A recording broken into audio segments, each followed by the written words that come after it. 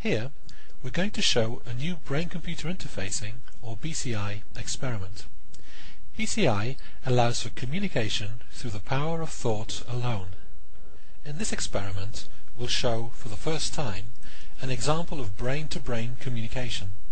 More than that, we'll be doing this over the internet. This means that the two people involved in the communication can be anywhere where they have access to the internet.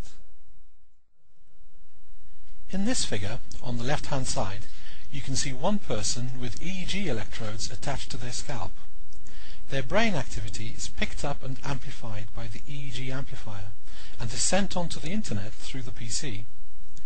The user is transmitting a series of binary digits, imagining moving their left arm for 0 and their right arm for 1.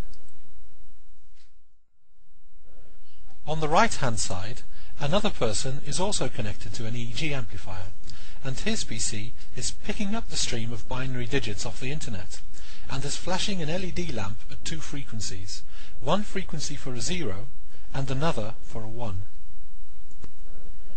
From the second person's brain activity alone, the PC is able to decipher whether a 0 or a 1 was transmitted. Throughout all of this, the second person is not aware of whether a 0 or 1 was transmitted, but the information is recovered from their brain nonetheless.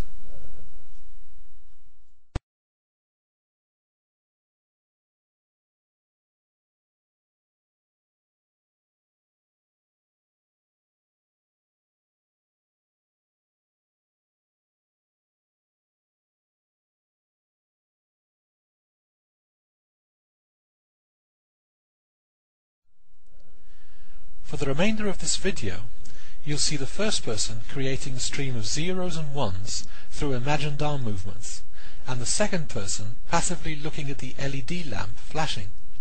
The PC picks out the zeros and ones from the second person's brain activity and displays it on the screen.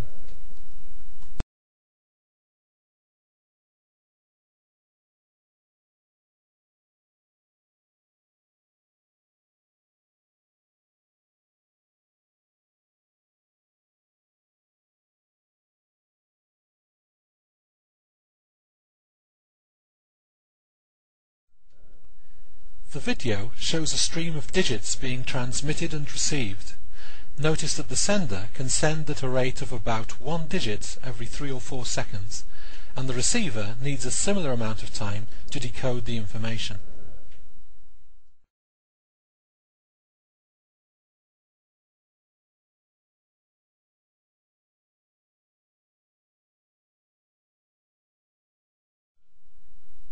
So what we can see here for the first time is the first person communicating over the internet and through the second person's brain.